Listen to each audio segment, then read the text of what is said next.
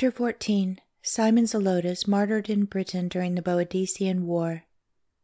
Following the defeat of Caractacus at Clun AD 52 and his exile at Rome, Arviragus speedily reorganized the Silurian forces, striking back at the Romans with a fury that exceeded any former combat. Ostorius Scapula was still in command of the Roman armies in Britain, but his forces had become greatly demoralized by the succession of defeats and the terrible savagery of the British onslaughts. In the year AD 53, Scapula suffered a staggering defeat at Cervalin near Caerleon. This was the year Nero had succeeded Claudius as emperor of the Romans. Nero accepted Scapula's resignation and he was immediately replaced by Aulus Didius. Tacitus Annals 1240, also known as Didius Gallus. Didius founded the city of Cardiff, which is still known by the Welsh as the Castle of Didius. It is interesting to learn that one of the first acts of Didius on arriving in Britain was to depose Cartismandua, queen of the Brigantes, whom he thoroughly distrusted. Her treacherous betrayal of her cousin Caractacus had caused her to be held in disdainful contempt by both the Romans and the British. As it was, her own clan had expelled her for adultery. Tacitus History 345 Didius was impotent in dealing with Arviragus on the field of battle. He suffered repulse and defeat in rapid succession. After a brief command, he was replaced by Veranius A.D. 57. The latter had no better success, in fact, worse. Arviragus drove the Roman forces behind the Plaudian wall of fortresses and bottled up Veranius at Verulam. Matters in the field had become so bad for the Roman arms that, in desperation, Nero ordered huge reinforcements to be rushed to Britain under the superlative relieving command of Suetonius Paulinus. Tacitus, Annals 1438 39. Then regarded as the ablest tactician in the Roman army, he took with him the Second Augusta legions and the famous Ninth, Fourteenth, and Twentieth legions, who carried the victorious legend Vicessima Valens Victrix. They were unequal to the occasion. Disaster continued as the British drove the enemy before them, asking no quarter and giving none. Tacitus bitterly expresses the feeling at Rome, which required their most capable generals and finest legions to combat the quote, barbarous quote, British. He writes In Britain, after the captivity of Caradoc, the Romans were repeatedly defeated and put to rout by the single state of the Silures alone. Tacitus Annals 1238 39.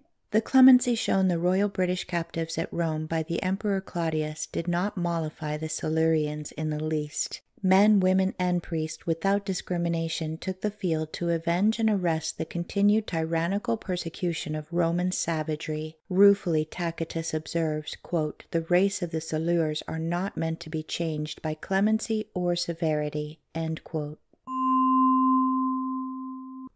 224. Mercilessly they fought pitched battles, stormed forts and Roman encampments, putting Roman settlements to the torch. The record reads, quote, The plains and streets ran with Roman blood. The more the Romans were defeated, the more excessive were their vicious depredations. The culminating climax came under orders from Suetonius Paulinus to carry out a scorched earth program, to destroy everything in their path, and particularly to exterminate the seats of Christian learning and all therein. This resulted in the horrible Menai massacre.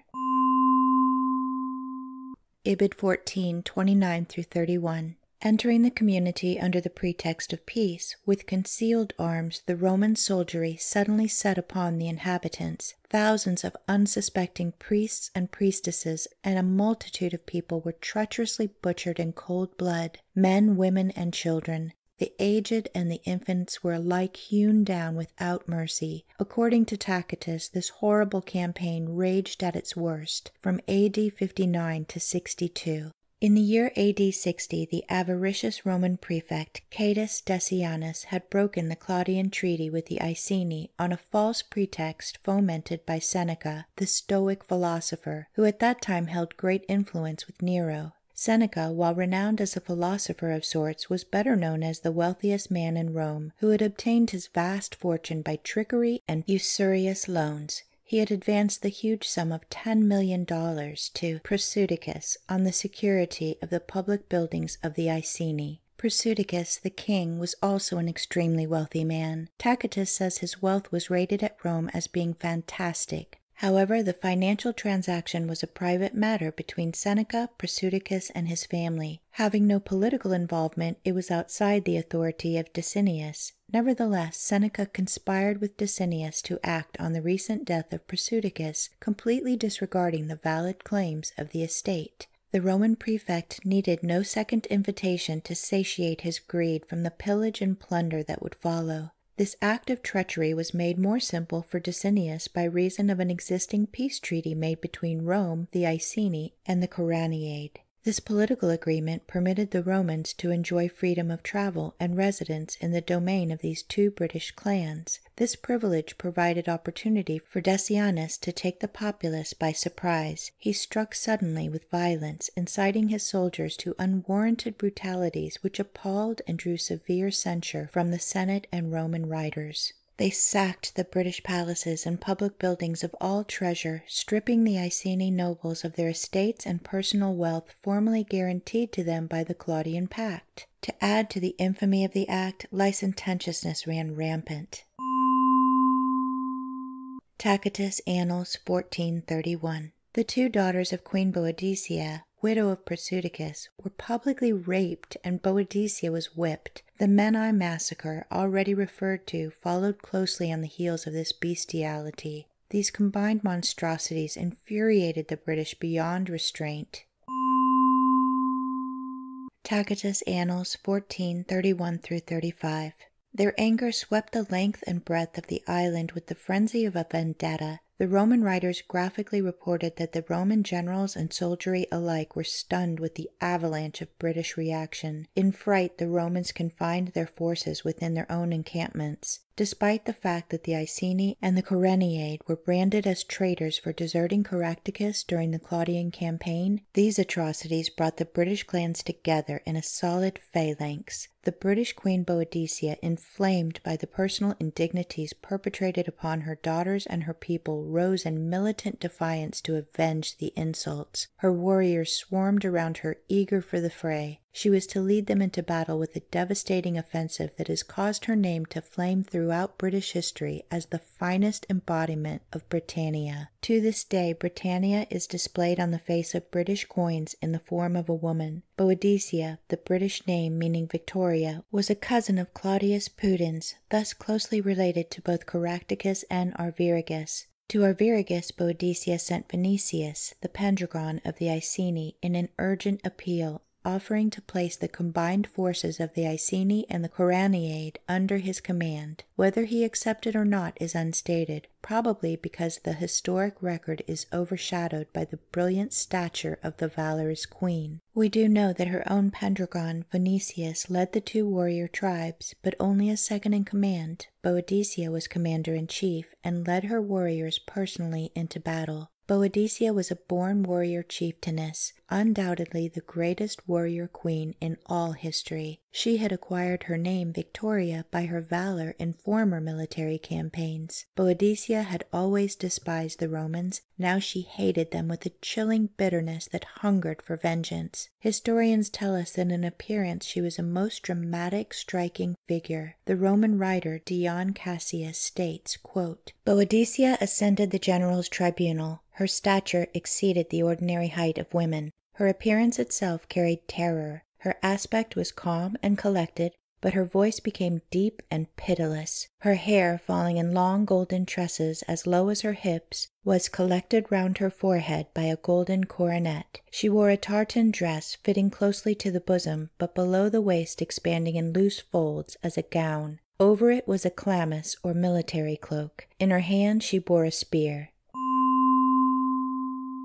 Xiphilinus Excerpta, page 176. Such is the portrait of the majestic Boadicea as she stood surrounded by the 120,000 warriors who had responded to her blazing call for vengeance. To them she delivered an address as challenging and to be as immortal as the one given by her famous relative Caractacus before the Roman Senate. Dion Cassius records this address as follows. I appeal to thee, a woman. I rule not like Nitocris over beasts of burden, as are the effeminate nations of the East nor like Semiramis over tradesmen and traffickers, nor like the man woman Nero over slaves and eunuchs, such is the precious knowledge these foreigners introduce among us. But I rule over Britons, little versed in craft and diplomacy, but born and trained in the game of war, men who, in the cause of liberty, stake down their lives, their lives of their wives and children, their lands and property, Queen of such a race, I implore thine aid for victory over enemies infamous for wantonness of the wrongs they inflict, for their perversion of justice, for their contempt of religion, for their insatiable greed, a people that revel in unmanly pleasures, whose affections are more to be dreaded and abhorred than their enmity. Never let a foreigner bear rule over me or these my countrymen. Never let slavery reign in this island. Be thou forever, O goddess of manhood and victory, sovereign and queen in Britain.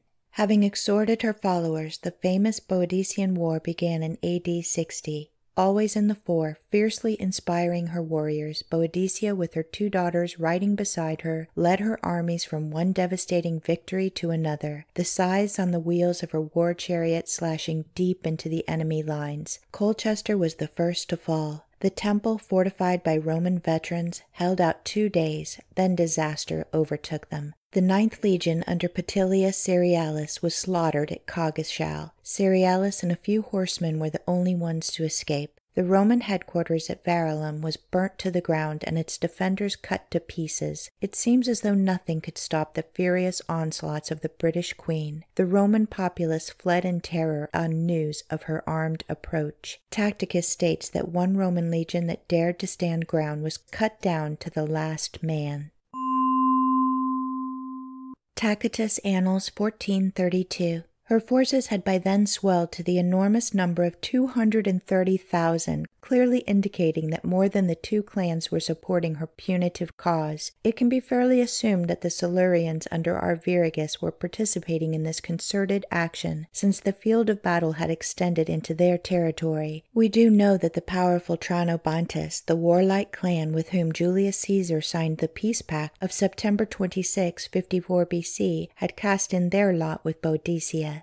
Tacitus declared that the Silurian state alone had inflicted one defeat after another upon the Romans. Now, with at least four of the most powerful warrior clans in Britain massed together under the one standard of baneful vengeance to the number of more than a quarter of a million, there is no need for wonder why the Romans were swept ruthlessly before them. Never before had the British been so deeply wounded and angered by the violation of their native privileges, their religious institutions, and personal dignity. The desecration charged them with superhuman determination to avenge. Tacitus reports that over 80,000 Roman soldiers perished in these sanguinary battles, and Catus Decianus, terrified by the violence of the conflict and the horrible carnage he witnessed, took flight, escaping into Gaul. The greatest single carnage followed the attack on London. At that time, it was a populous city, the trade center in Britain for international commerce. It was filled with Roman merchants and was protected by a powerful Roman garrison. The assault and destruction of the city is one of the most appalling war records one can read. It was little short of a massacre and shows how intense was the merciless British fury, steeped in a hatred so unnatural to the general British character. Some may consider the quarterless slaughter performed by the British in the Boadician campaign as unwarranted and diametrically opposed to Christian principles. One should remember, however, that since the Claudian edict for Christian extermination beginning AD 42 up to and including the Boadician War of AD 60, the people in the land of Britain had suffered a persecution at the hands of the Romans for 18 years, which no other nation had experienced. Their towns, religious institutions, libraries, and seats seats of cultural learning had been burnt to the ground with a barbaric insolence unequaled. The defenseless had been massacred. Licentious pillage and plunder of wealth, crops, and cattle had been conducted, unabated in the vicious Roman pledge to crush the Christian faith and spirit in Britain. People can stand only so much, then anger gets the better of them, often leading to what may term an excess of violence. The British were only paying the Romans back in their own barbaric coin, and unquestionably they saved Christianity for posterity with the sacrifice of their lives and property.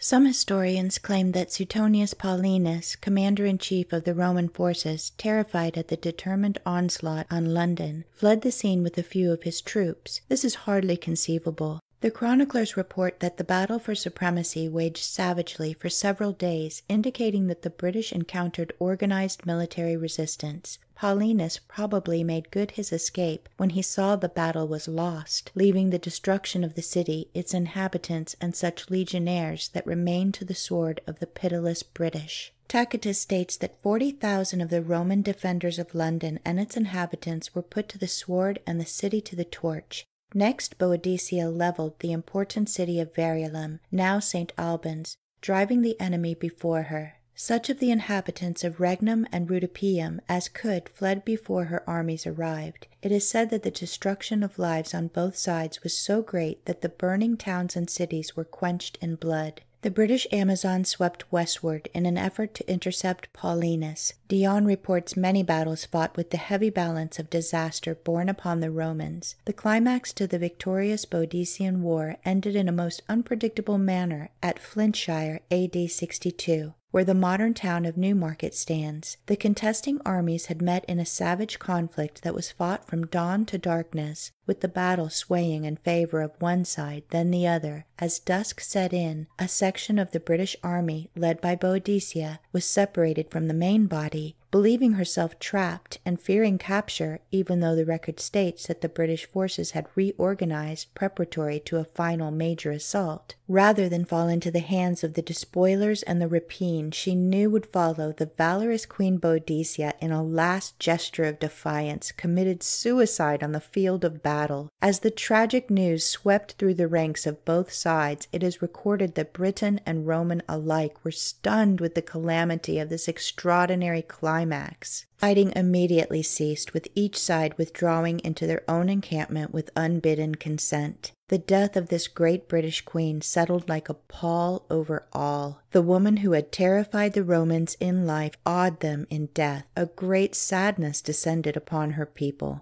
and the Romans, quick to seize an opportunity, took advantage of the situation to come to peace terms with the Iceni. Under the terms of this new peace pact, the Romans restored all the confiscated wealth of the royalty, the nobles, and the people. The stolen estates were returned to the surviving members of the royal household and to the nobility with all their original privileges. The treacherous transaction of Seneca was cancelled, and an heavy indemnity was paid to the Iceni. How truly the Roman historian wrote, quote, Every peace with the British was a signature of defeat. The royal Boadicea, majestic in appearance, rich in eloquence, dauntless in war, endowed with the military genius which for two years had outmatched the ablest strategist of Rome, drove their legions before her arms like sheep to the slaughter. The British heroine who preferred death rather than sacrifice her freedom, a warrior queen with no equal in the colorful pages of history, the avenger of womanly indignities, a champion of the Christian faith, was now no more than a glorious memory. The Romans wrote that her funeral obsequies were the most magnificent ever bestowed on a monarch. So lavish in pomp and assemblage they gazed in wonder on its splendor, awed in silence in both shame and fear. Her unhappy death, though spectacular, was an incomparable sacrifice for the preservation of the ancient British freedoms for which she stood.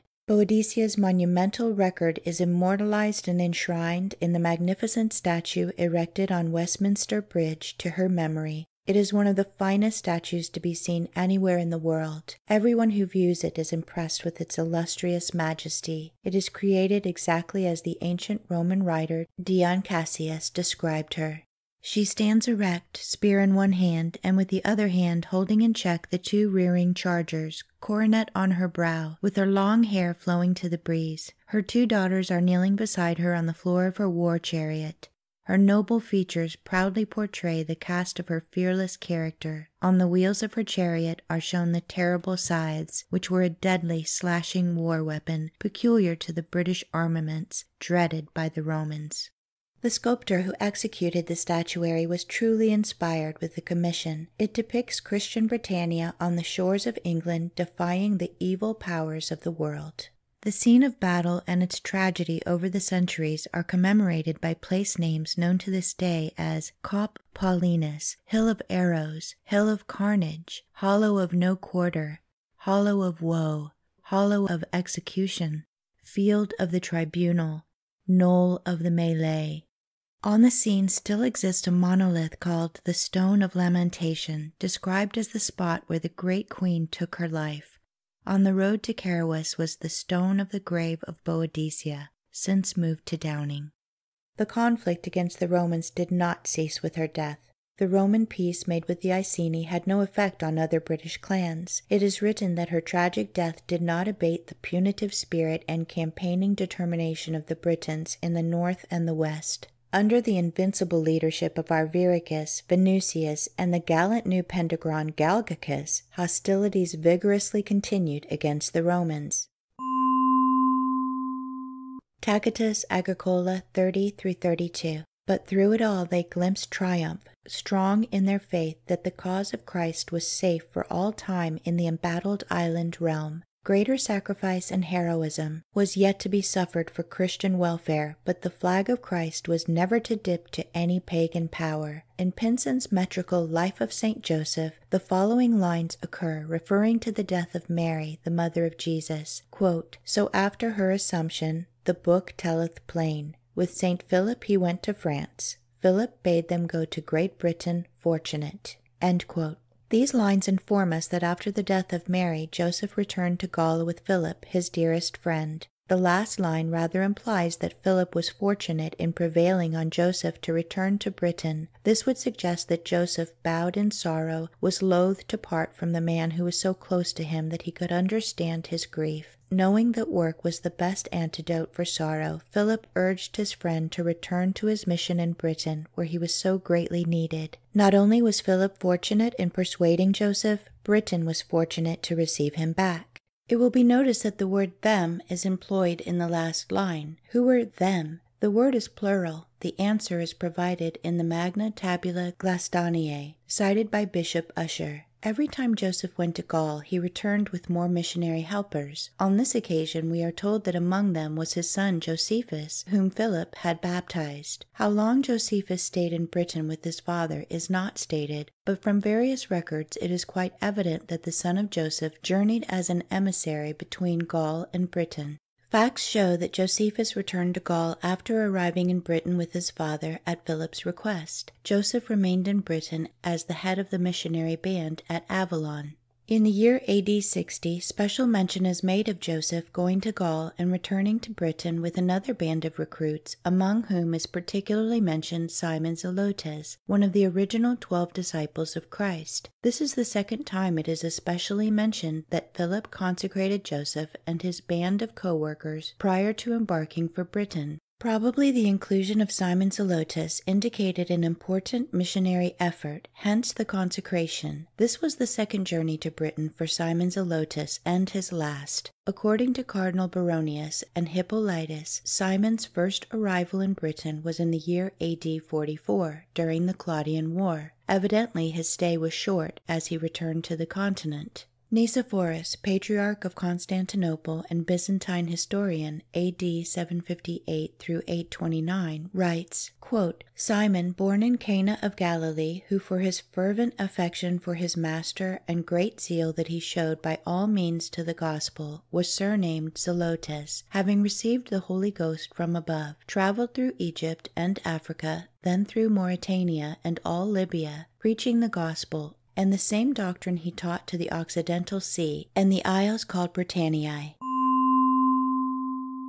See also Dorotheus, Synod de Apostle. In the Bible, Simon is often referred to as Simon the Canaanite because he came from Cana. The Hebrew word for zealous has a similar sound to that of his hometown, being Cana. The Greek translation of the word is zelotes, the name by which he is best known. His enthusiastic preaching of the word earned him his zealous surname. Simon arrived in Britain during the first year of the Boadicean War, AD 60, when the whole island was convulsed in a deep burning anger against the Romans, which was never equaled before or after in the long years of conflict between the two nations. Tacitus states that from AD 59 to 62 the brutalities of war were at their worst. Atrocities occurred on both sides, but the Romans carried their vicious perpetrations to such an extent that even Rome was shocked. Bearing this in mind, we can readily understand that any Christian evangelizing outside the British shield would be fraught with imminent danger. At all times, the disciples of Christ were oblivious to danger, but when the pressure became too severe, invariably they fled the land until matters quieted down. In the year AD 44, a Claudian edict expelled the Christian leaders from Rome. Many of them sought sanctuary in Britain. Among those who fled to Britain from Rome was Peter.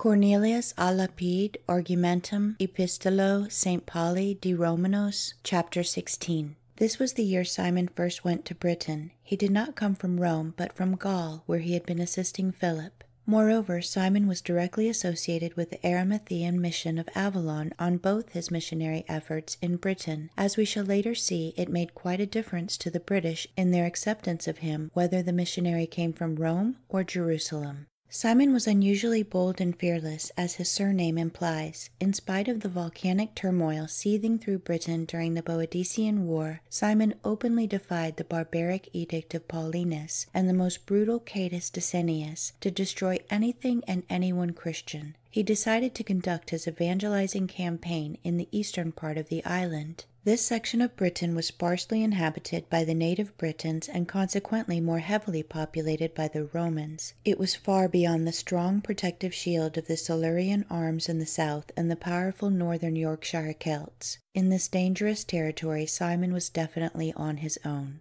Undeterred, with infinite courage, he began preaching the Christian gospel right in the heart of the Roman domain. His fiery sermons brought him speedily to the attention of Catus Decianus, but not before he had sown the seed of Christ in the hearts of Britons and many Romans who, despite the unremitting hatred of Decianus for all that was Christian, held the secret of the truth locked in their hearts. The evangelizing mission of Simon was short lived. He was finally arrested under the orders of Catus Decianus. As usual, his trial was a mockery. He was condemned to death and was crucified by the Romans at Caistor, Lincolnshire, and there buried circa May 10th, AD 61. The day of martyrdom of Simon Zelotes, the devoted disciple of Christ, is officially celebrated by the Eastern and Western Church on May 10th and so recorded in the Greek Menology. Cardinal Baronius, in his Annales Ecclesiastici, gives the same date in describing the martyrdom and burial of Simon Zelotes in Britain.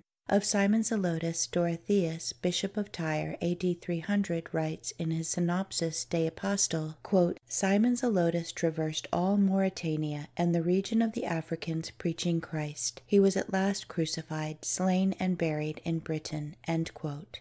There are some who think that because Simon Zelotes perished in Britain, he must have been slain by the British. This could not be at all possible. Only the Romans practiced crucifixion. In the first place, this form of death was reserved as a gesture of contempt in executing their meanest criminals. During the Christian era, it was more viciously employed on the Christians in defiant mockery of all the cross stood for to all Christians. To the British, and indeed to all Christians, crucifixion was a profanity of the cross. The historic record leaves no doubt as to who crucified Simon Zelotes. Some also entertain the belief that Simon Zelotes was the first British Christian martyr. Of the elect, he was the second British martyr. Aristobulus, brother of Barnabas and father in law of Peter, was the first to be martyred in Britain. Aristobulus preceded Simon to his reward at what is now St. Albans by a couple of years. The record states he was martyred, quote, in the second year of Nero, This would be circa AD 59. Unknown to many, the remains of Simon Zelotes, with many more of the saintly elect, are buried in England, creating the saying uttered the world over, quote, Britain, the most hallowed ground on earth.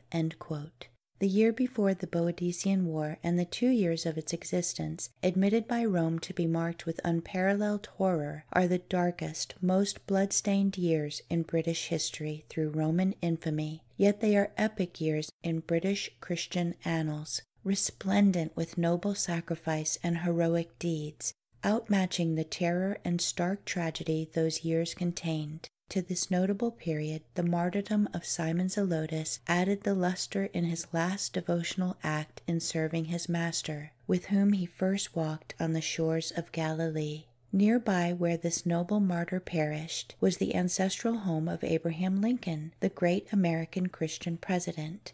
His ancestors migrated from England in the first waves of English colonists to settle in Virginia. The church in which Lincoln worshiped was made an American sanctuary by patriotic, Christian minded American soldiers of World War II. They made various beautiful contributions to this ancient little church at Boston, Lincolnshire, to the memory of the family, particularly to their illustrious American descendant. 1800 years after the martyrdom of Simon Zelotes in the land of the Lincolns in America, Abraham Lincoln became a martyr for his humane Christian principles, the same principles which Simon Zelotes taught, for which he was crucified and gave his all in the glorious service of his beloved Jesus.